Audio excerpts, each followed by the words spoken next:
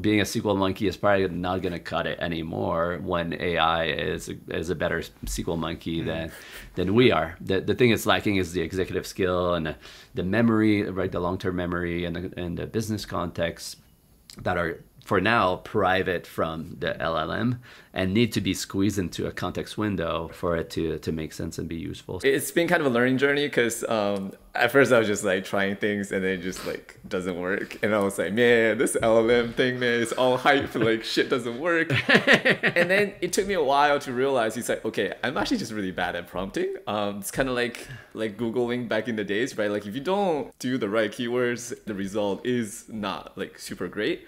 So for you, right, like you're doing like eight to 10 prompts every day. Like, did you see that gradual like improvement in terms of uh, results for yourself? And like, how do how do I get better at this? Like, I do want yeah. to get better. On LangChain, I think it's really interesting because like when I found it, I had the same thing. I like, I don't really understand why this exists. Not because I, I just didn't understand the problem space. Then I got familiar to the problem space. I was like, oh yeah, this is like everything I need. This is super great. But then I started to try to use it, and then I was like, oh, this is it does like kind of what I wanted to do, but then it not but but not exactly. And then I cannot use the, the methods that are here exactly in the way I want to use them.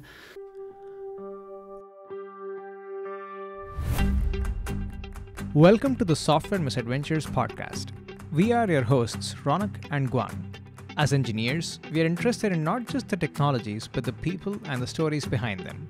So, on this show, we try to scratch our own itch by sitting down with engineers, founders, and investors to chat about their path, lessons they have learned, and of course, the misadventures along the way.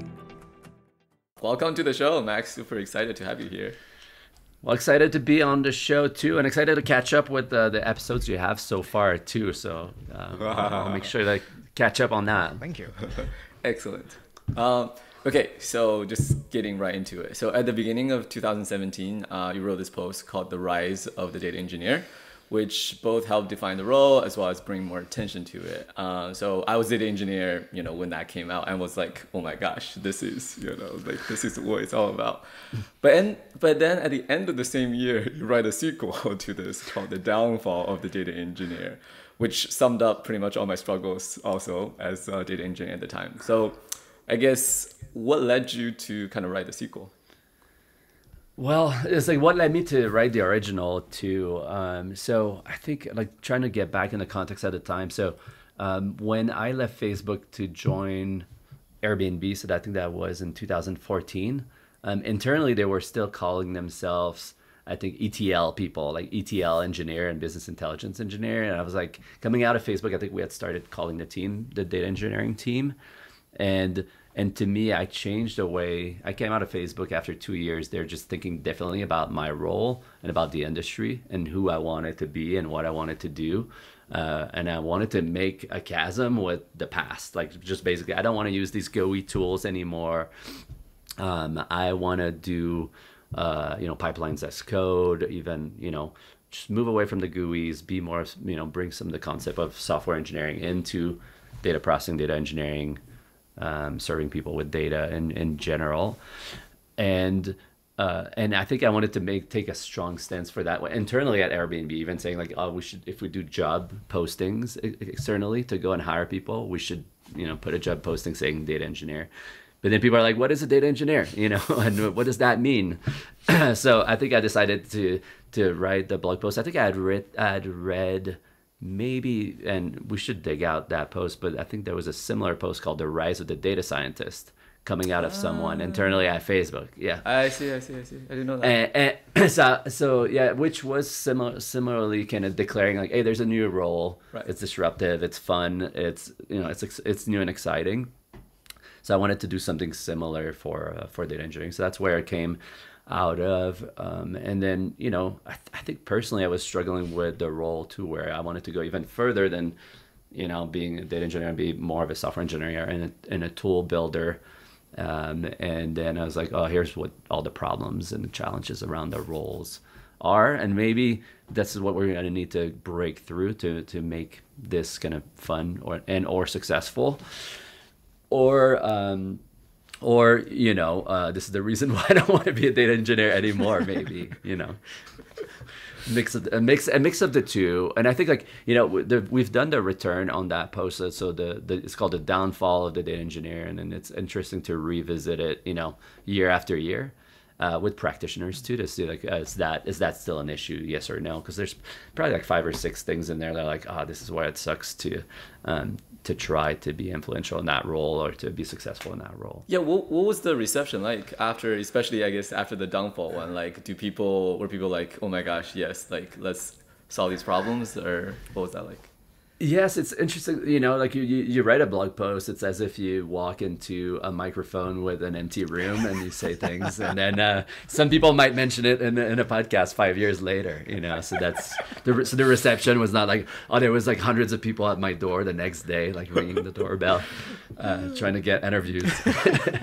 so uh, no, so I think I mean people reacted. There's you know if you think about like the people that read and review this stuff, so usually when you blog on i don't know if it, i don't i think it was like my it was not on behalf of a company. Some blog posts i've written before was under like the say airbnb or lyft umbrella or, or preset. So it, get, it gets reviewed it gets a little bit more more attention and review internally kind of just peer review but on the peer review front i think the, i think people agreed generally and i think it resonated overall so over the years i've heard people saying like hey i read the posts and really resonated with like similar to what you said and then there's been a handful of times where we've done either podcasts or yeah, we did an article with Monte Carlo where we did the, the return on the downfall.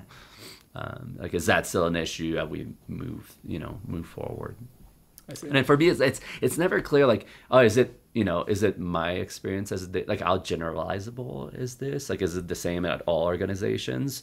Like anecdotally, maybe I talk to you know like 30 data engineers a year about these struggles you know here and there but I guess it's hard to say like oh is that universal or is that you know limited to my experience there, I remember there was a joke about like oh yeah you know data science is data engineering until you have the data like I, so I know you got your start in like uh, like BI analytics and things like that. Like, have you thought about just at some point just you know giving up and just go do data science, which has like way more right like coverage and sort of support from leadership and things like that.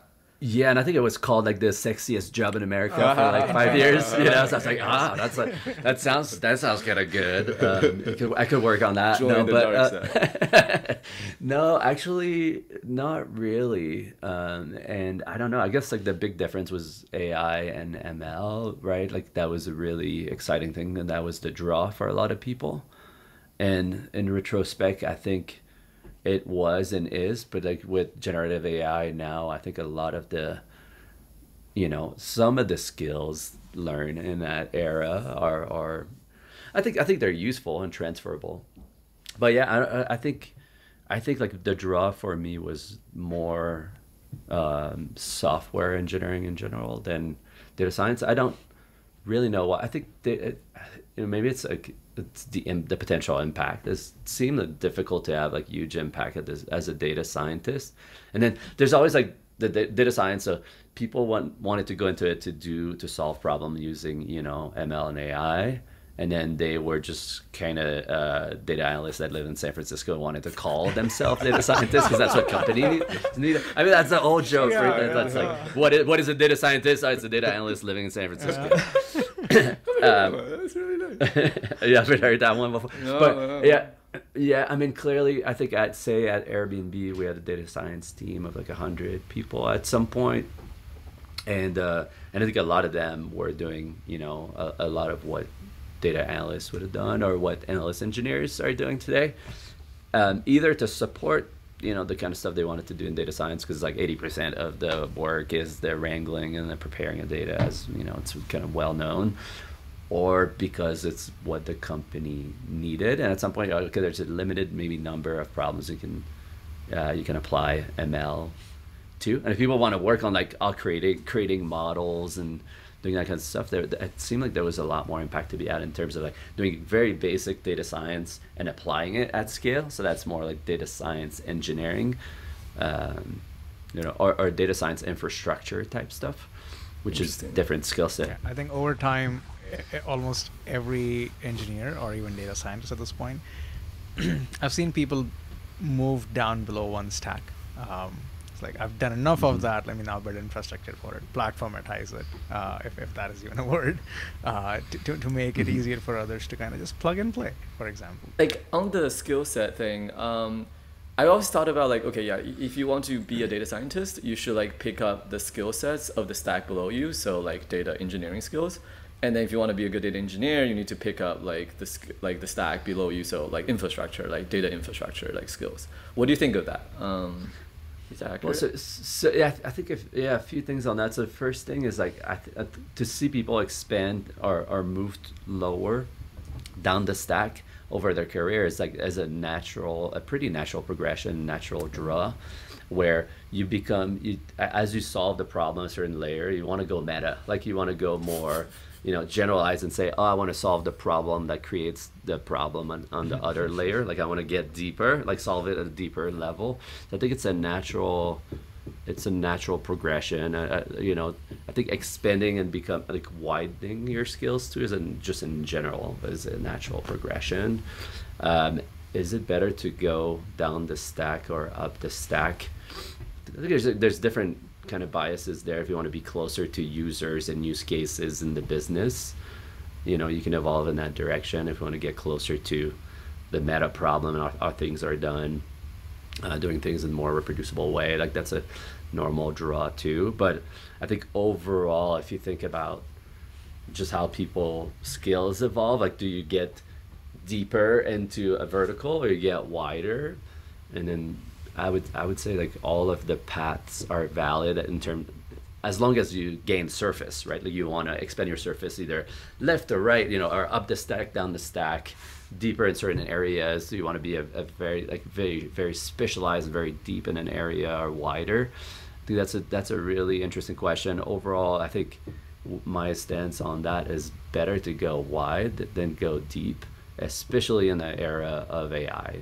You know, um, I think like I think what we're gonna see with these LLMs and some some of the skills getting commodif- commoditi- commoditized is um, it's better to be a generalist because then you have a bunch of little agents you could use eventually, right? And you have like very smart, like it's as if you have an army of very smart uh, uh, interns, you know, very uh, without like with some context, but like not a lot of good executive skill. At, at least like that's a way feeling uh, working with M, uh, with LLMs feels like today. So it's good to be to have good executive skills and coordinate coordination type skills, uh, and then you can be wider and then get you know get help from different um, AIs to help you coordinate and build things.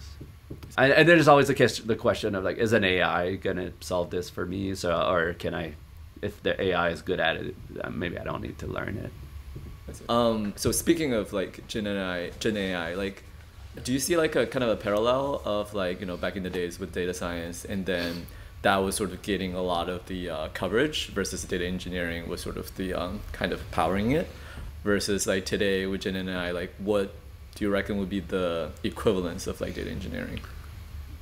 If Oh, the effect, exists? the, the effect of uh, say the the having this new tech on the role. You mean, or well, so data. I think data science was you know an, imp- an important thing that's transformative. Like what we're dealing with here, though, is like something that's changing. You know, everything and everyone and every role and every skill. So I think like this is fundamentally different from anything we've seen before Interesting. Okay. right? Like it's it can, can only be compared to like the internet or something like in terms of like the level of dis- dis- Yeah. disruption uh, and how it's going to affect everyone's life. And it's like one of these things. It's hard to see at what pace or what it's going to look like on the other side and how fast we're going to get there.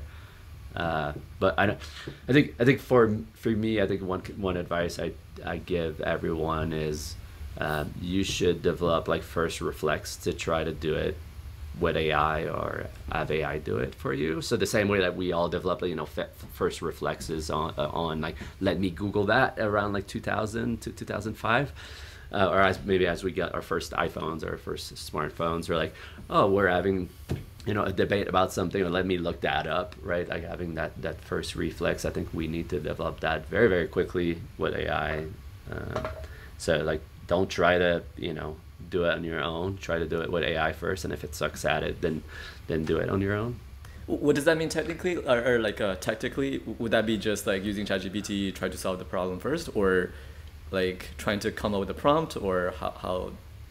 I, yeah, I mean, I think I think like if you look at your your your daily your daily workflows and and I don't know what's on your to-do list for today beyond say this podcast, but you can look at like okay, I've got these like some technical tasks, some things I'm trying to do.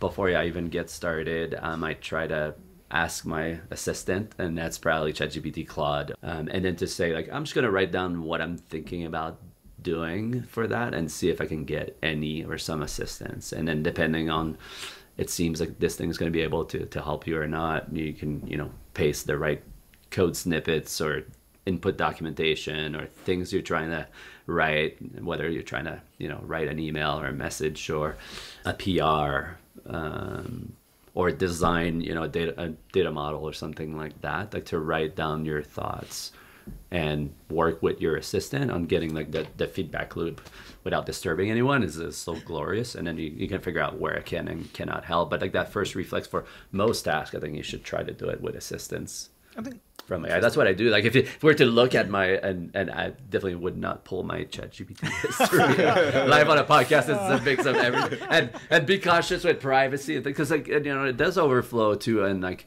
you know for me, even for like founder advice or like legal input or everything, the vast array of things that say a founder does as a at a startup, um, I definitely have developed first reflex for most tasks to ask, you know, ChatGPT and see how it can help. Hmm. And it's um, it's good at things you would not think originally it's it might be good at, right? That's a good analogy because like you wouldn't also just pull up your Google history to be like, ha, you know, podcast. Yeah. So was, uh... But what I was gonna say, the point around that is like the statistics of like how many times a day and the, the for for what kind of task I use this stuff is like I would say that it's like now it's like five to twelve prompts a day, uh, or, or, or like sessions, um, and, and, across the variety of what it means to be a founder. You know the kind of tasks that a founder might do. Even like yesterday, I had my um, immigration interview. I'm going to be an American citizen, so I'm Canadian originally. Mm-hmm. I've been on a green card for a lot. So, so I went and did the interview, but like I didn't know. Apparently, there's a hundred questions they might ask you and all that stuff. And I, I did like audio sessions with ChatGPT on a drive to the Bay Area this week, and I was like doing role play with it. It was asking me questions. I pra- by the time I got to the interview, I'd practiced the interview many times and reviewed, you know, what the three branches of government are and uh, who's the current, you know, uh, security, Secretary of States and all this stuff. All this stuff that were likely to ask me that were tricky, I had reviewed and role play with GPT over audio in the car, which is like random use case, right? Um, that is pretty cool. But yeah, even like uh, yeah, I was gonna say like even like for ideating on like oh I feel like I sh- I want to start a new open source project around like data access policy. Here's some ideas that I have, and just having a conversation around, you know, instead of like writing in the void uh, you're you're kind of you know um, talking with someone smart that ha- that has infinite time and attention for you until you run out of GPT four you know a request for the day. like, uh, oh. but uh, but it's it's surprising how well it is at, at just being brainstorm, you know, uh, friend kind kind of deal and keep the emotions out of it. Like not a friend, yeah. a useful assistant. Yeah. Oh, think about that. Like, what is the most unusual thing you've asked ChatGPT, if you remember? Considering, like, for example, the use case you just mentioned around brainstorming interview practice for American citizenship, I would not have thought of that. that is really cool. Yeah, that's really good. Yeah. yeah um, especially over voice. Yeah, so when I say unusual, I don't mean in a bad way, but just like something which you didn't expect it to be good at, but you were like, oh, this is really good at this thing too. Uh, I, I think that's the stuff I've been most amazed with is writing really um, intricate blog posts at, on the edge of discovery like what i what i think is kind of new like like let's say let's say like i um and ideating and brainstorming for around say uh, creation of new project. I think it's extremely good at like marketing and product product marketing like messaging and positioning uh, for for startup founders. It's something you might not think about if you're if you're not a founder but saying like hey we're trying we're coming up with this new this new product launch you know or we're thinking about a new product that we want to launch you know um, and here's how we want to position it and here's what we think it should do um, it's an extremely good product marketer. Uh, but I was going to say one thing I worked on recently, we could take the tangent eventually, is just thinking about semantic layers, the, you know, in, in the BI world and, um, and then think about the intricacies of what exists and what the world needs. And uh, at some point, we did a hackathon project around um, what the ideal semantic layer might look like, you know, and its properties, and then just going back and forth. Some of some of it's like the rubber duck effect, like just having someone to talk Yeah, to. yep. That's that's just like bounces back ideas. So there's a lot of value in just having someone who listens carefully and spits back words that are related to the, you know. But like even yeah, so like, uh, can you you know. Um, give me some related ideas or i'm thinking of this thing of that what you know what do you think and um, and it's been an extremely good partner to work on on these things that call it the edge of like innovation and, and discovery So some of the aspects you mentioned before was like, hey, start with ChatGPT first, similar to how you would go with. Well, let's try to Google that first. Um, in a way, you're saying it increases your productivity. Anything you're trying to do, it might already give you uh, some aspect of the solution, so you can do more as an engineer, for example. Um, now, putting yourself in the founder seat, how does it? How do you think about um, your team size or hiring at that point? Because now you're saying what would have taken me X amount of time to do. Now with this co-pilot of sorts, I can do a little more efficiently, and so can your team. Um, so, have you thought about this in terms of like team size? yeah i mean it- yeah yeah definitely i mean i think as a founder you always think about uh, throughput and productivity and then how do we do more with overall and then how we do more with what we have. Uh, i think recently in the over the past year and a half we're a lot more resource constrained than we were Yes. before. Like before we were not there was just no ceiling like you want to raise infinite money take it. You want to have an infinite valuation take it. Uh, i think now we've been really pushed toward to think about efficiency in general i think it's always really hard to objectively measure throughput in software development right? And so it's always hard to do estimates. It's always hard to you could count lines of code you can count prs you can count features you can uh, i don't know you look like customer satisfaction. Uh, but i think i think we're all a lot more productive than we used to be. Um, and one thing is for sure is like telling everyone in the company to build that first reflex of like, you know, well, first, like everyone should have like pay for your, you know, we'll pick up the bill for your ChatGPT or Claude or, you know, get the best AI you can or the one that you work best with, get um, Copilot, get all the tools, right? Um, if you need to produce some images, get Midjourney. Like, just go. Like that stuff is so cheap for what it does. Um, it's just a no-brainer. So ena- enabling people with it is it now in terms of like the the the the, the social economic you know changes over time is real. I mean, it's gonna have major impact. We just don't know exactly how. Right? People are looking at like layoffs at FYI. I'm like, how many of these layoffs are you know related to AI or won't be replenished? Like that, oh, maybe it's just a normal dip and like markets go up and down, but the the swing back with AI might be very different this time around. Um, I think that's fundamentally true. Like in, in general, if you look, like, does the printing press lead to like less, you know, text being written or read? No, right? Or is there less journalists because of the printing press? You know, or less writers? No there's more but this is this is different though. So as a founder i can tell you i think it's good to get the pulse on like the microcosm of like oh if you get the take on like how founders think about their con- uh, their companies individually then maybe an aggregate that gives you a sense of what's going to happen and uh, more meta economic layer. But i would say I think I think I think currently, uh, yeah, I think it's you know startup is always where incentive incentivized to grow as much as possible. So uh, and now we're incentivized to be efficient. But uh, as you know, I double my, my revenue. I probably want to double my effective my my expenses too, because we want to grow as fast as possible. Uh, so so there's clearly that.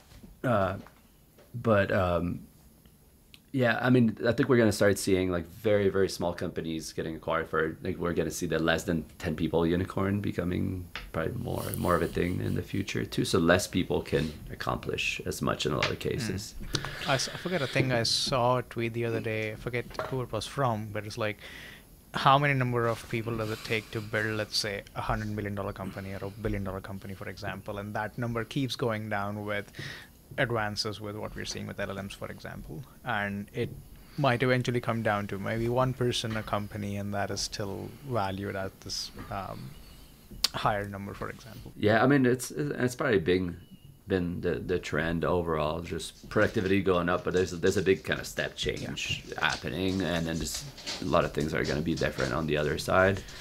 Yeah, and as I said, it's unclear like what it's going to look like during the transition, how fast the transition is going to go, and yeah, where we're going to land. Uh, so on the topic of uh, LLMs, and there are a bunch of other things you can also talk about. Um, you have this open source project, Promptimize. Um, can you tell us more about that? Yeah, so I mean that was a that was a I think uh, got like a year ago or so. We were building um, text to SQL features inside Superset as a differentiator for preset. So for context, people are not super familiar with uh, with what I do. I started Apache Superset after I started Apache Airflow, and been really dedicated to Apache Superset, and then started a company. It's a commercial open source company where we offer Superset. Um, as a service essentially, right? And then Superset is an open source competitor to the Tableau and Looker uh, Lookers of the world. So a BI tool, and it's fully open source. It's amazing. It works super well. There's no reason why people should pay for vendors, you know. And then if you want a hosted solution around it, well, so if you haven't checked it out, you can check it out. Um, just go to Apache Superset, um, and you can check out, you know. Uh, what it does, what it is, and you can play it. You know, you, you can get set up quickly, use it, yeah. try it. Um, and then preset is just a cloud service around it with some bells and whistles and some improvements. Some of some of which, and I won't go into like the exact pitch of uh, just in the context of what we're talking about. Um, so we built a, an AI assistant within uh, preset to augment superset and that's a differentiator because we need to you know make money and uh, have a commercial offering as well right on top of the cloud service so we were working on like text to sql and uh, and it's a tough it's a tough problem and it's really hard to work with well it's really deceptively easy to work with these llms you, you work with it you're like hey here's a few table schema can you write sql that does this? You're like oh my god this thing is good at sql which has deep implication for uh, the data engineering world that we haven't talked about. But like you know, being a SQL monkey is probably not going to cut it anymore when AI is is a better SQL monkey mm. than than we are. The the thing it's lacking is the executive skill and the, the memory, right? The long term memory and the, and the business context that are for now private from the LLM and need to be squeezed into a context window for it to to make sense and be useful. So we started working on this problem saying like oh my god like this thing is so good at writing sql if you provide it the right context. So started looking at you know vector databases to store your data models um, and and just in in general like working you know, on the ch- some of the challenges we hit like early on were like working with different SQL dialects making sure you know that the, the AI is able to generate the right dialect. It gets a little confused around that um, and then providing just overall the, the right context as to what you're trying to do and, and what the models it can use are. And we started working on that, like what we realized is, you know, you can use uh, GPT-3.5 Turbo, a GPT-3.5, a GPT-4, and you can bold something in your prompt that says like do not you know cap- make sure to capitalize you know the reserve words or or if it's BigQuery do this right? So you can you can start like just really changing your prompt and then it changes the outcome really intricately. And then what we're trying to solve is the big, big fuzzy problem of like people might ask anything and your data schema might look like anything. Mm. So how do we measure the quality of our prompt or the quality or you know whether just even something as simple as should we use 3.5 turbo or 4 turbo or 4 or right uh, and how much better is it performing so, so early on we found um, this uh, decent or good data data set around text to SQL is called a Spider data set. It's out of people. I forgot if it's like MIT or sorry, I, I don't want to misquote. So I'm not gonna say anybody. You can research like there's a Spider data set that's a list of prompts, sample schemas, and then the good answers for it. And there's a bit of a context where people are like, oh, you know, we did different teams working on this problem. I say, oh, we did 82% or we did like 87% with ChatGPT um, on this test set. So it's a published test set and then there was no way at the time to just um, write kind of unit tests or a framework for for for someone to take um, unit tests and measure the outcome. And so Promptimize, the, the idea behind it was like, oh, let me write a little toolkit where you can write your your prompt cases, which I like test mm-hmm. cases for. If you're if you're familiar with, take some of the ideas from like unit testing frameworks and apply them to prompt engineering and prompt testing, hmm. uh, so that we could say like, okay, take this 2000 tests and run them against GPT-3.5 or it takes, you know, run in, against GPT-4 Turbo and compare the output of like the percentage of success, where one succeed over the other, what it's good at, what it's bad at, um, how much it costs, how long it takes, like the average uh, the P90 of how long it takes for the prompt to, to come back. So wanted to apply the scientific method and just rigor to prompt engineering. And and that's you know Promptimize a little toolkit to allow you to to do that with with some amount of structure.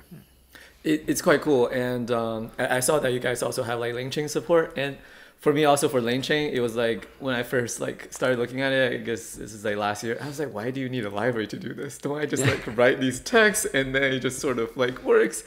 And then I think right, like as more I started try to like write better prompt and you know do more use cases and i was like oh my gosh yeah it's such a mess like without sort of these like libraries and i think it's the exact same thing with the promptimize right where it's um like once things get to kind of the production level where like it's actually dollars on the line like this like you actually want like the same engineering sort of like the best practice that we've developed right to actually have that mm-hmm. transferred mm-hmm. over uh, transferred over instead of just kind of putting your hands in the air. Yes, it's like trying to have some empirical measurement in a very fuzzy, unknown world right and then because like you're, you're working on your prompts and you can add like literally a hint in there to say like oh please but please don't do this mm-hmm. or you know you look at your 10% of failure say on text to sql generation and you might might realize like oh all the failure are related to trying to run that stuff on snowflake because it, it's not good at speaking uh, the snowflake dialect. So then you might add a thing that says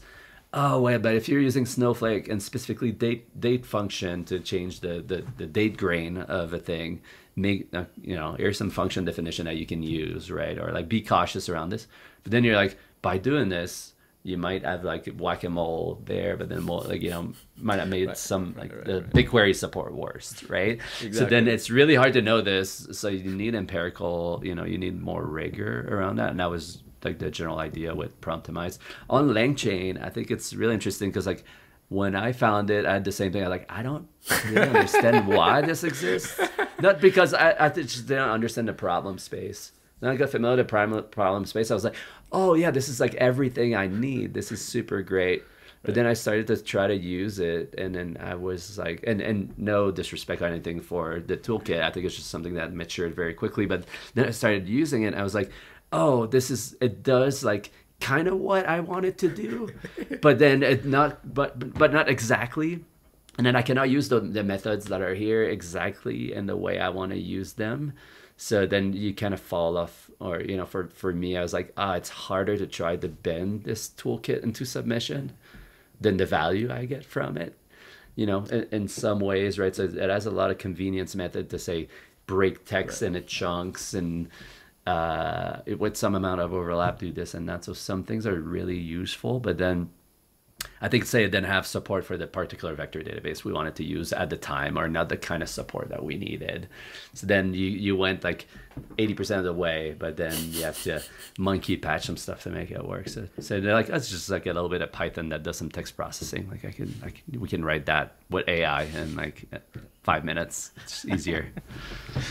Interesting. So, so is that what you guys internally do? Is just kind of like having your own sort of set of like utils and stuff to help these stuff? That, I think I think we I think we do use uh, some like just a LangChain is a is a weird it's not it's a toolkit you know so you can kind of think of it like a you know as a bunch of like utility tools around right. AI and ML and I think like over time I think we grew to using like just specific portion of the toolkit. It's like, oh, we use the hammer and a, and a, screwdriver, but we don't use like anything that saws or cuts or you know. Got so it. so so we we pick some part of it. I think stuck around, and some things are like, okay, we could we'll just do our own thing because it's harder to bend this tool into doing what we do we need to do than it is to just do it on our own for for some use cases. I see.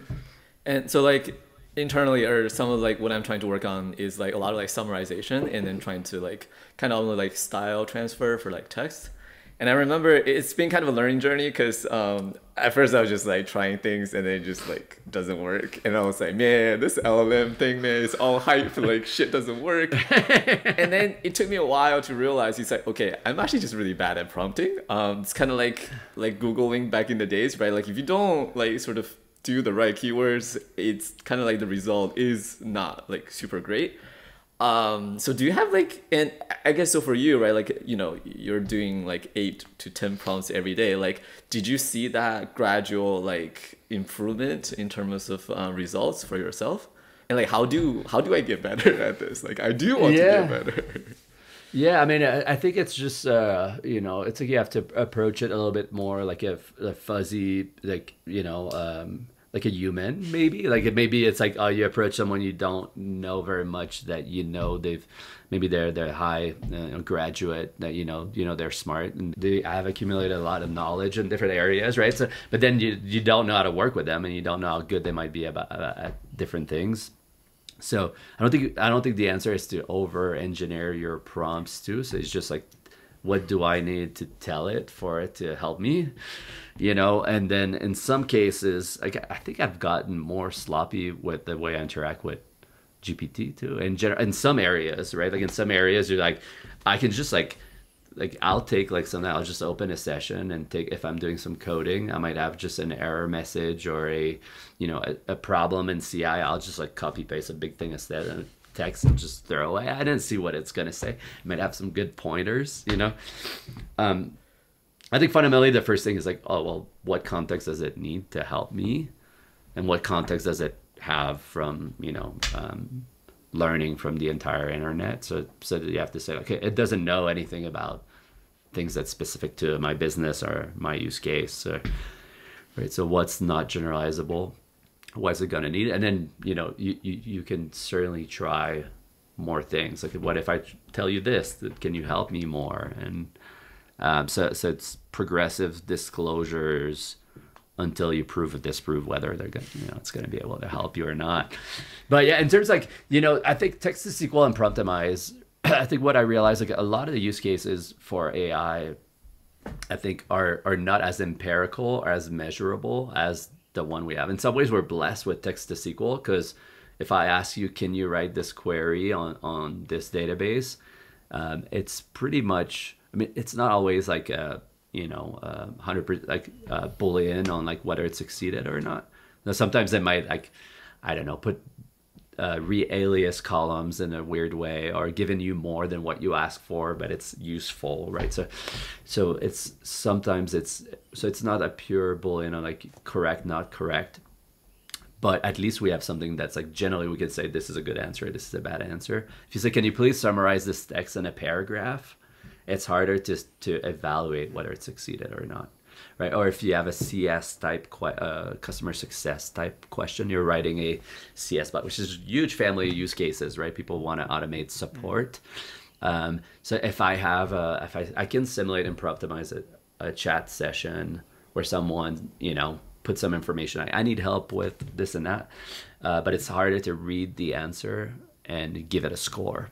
So that then you can use an AI to do that but then you're kind of like yeah. I, mean, that, I don't know. like yeah that, I, I, I was like what are you doing? That could be a problem of like garbage in garbage out but uh, you have to yeah. trust the underlying system beyond a point well, it's oh, it's like a circular thing. Like if you get the AI to evaluate the answer of the AI, like then you need to ev- you know to evaluate the answer of the answer of the AI to make sure it help you. But but I mean, you but you could I, I think you can you can and then I talk with people that use Promptimize in more fuzzy use cases that are less like this boolean like it's the AI succeeded yes or no. Um, for instance, I think the examples that are really interesting in, in the Promptimize examples that I wrote when I originally um, wrote the project, there was like writing some Python functions. I, I can actually ask the AI to write a Python function, take the Python function, and then run run unit tests on it and make sure it actually works. So it's like write a function that, you know, does the tells you if it's a prime number or not. Then it generates a code. Then you actually put it in an interpreter and and test it. That this uh, empirical use cases. But yeah, when you get to like less empirical, like true or false use cases, it gets more subjective and and hard to evaluate. But this is pretty cool. Like this is more like test driven development, right? You specify what Yeah. you want, you describe the tests, but you let the and then you evaluate whether the code you got back is actually doing what you asked for it to, asked it to do. Um, would be a good Yeah, the blog post was very much like originally when I wrote the thing it was like bring the bring the TDD and like you know uh, rigor and what we've learned in software engineering, you know, tests, dev- like you know, unit tests, test driven development to prompt to prompt engineering. Uh, well, the project is super cool, and we'll definitely link it in our show notes. Uh, we, we recommend people check it out. Not just the project, but also uh, preset, superset, and airflow.